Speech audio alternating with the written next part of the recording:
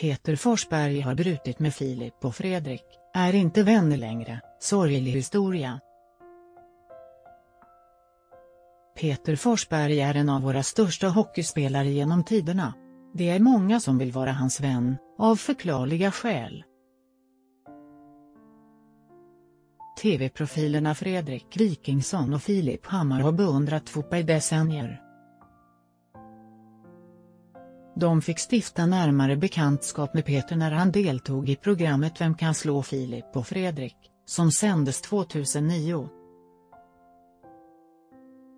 Vi har försökt få med honom i varje programserie vi har gjort, så det känns ironiskt att när vi väl får med honom så är det förmodligen så att han vill förödmjuka oss på något sätt.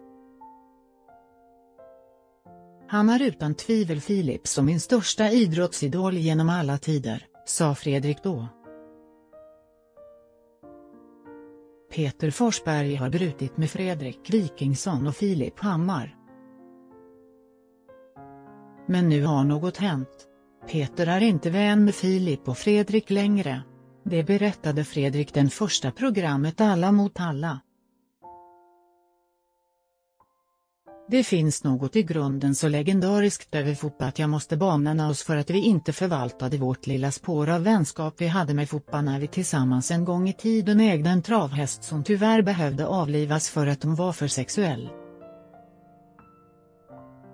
Var det i den gemensamma sorgen över detta fina stod vi gled ifrån varandra, eller tröttnade han bara på oss?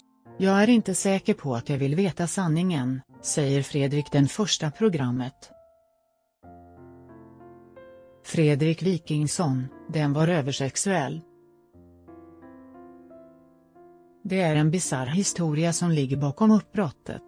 Trion köpte en travhäst ihop, Lina Klipp, som avlivades, endast fem år gammal. Min revisor ringde och berättade om hästen, som jag köpte med dig Filip, och hockeylegendaren Peter Forsberg. Vi köpte hästen för fyra fem år sedan. Vi betalade en del fakturor, för mat och liknande. Sen fick vi lite udda information, om att hästen var översexuell.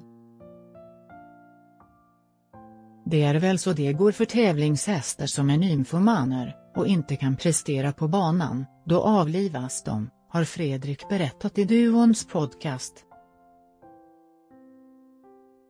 Det är en sorglig historia, mest för att vi inte fick hänga med Foppa, sa Filip då.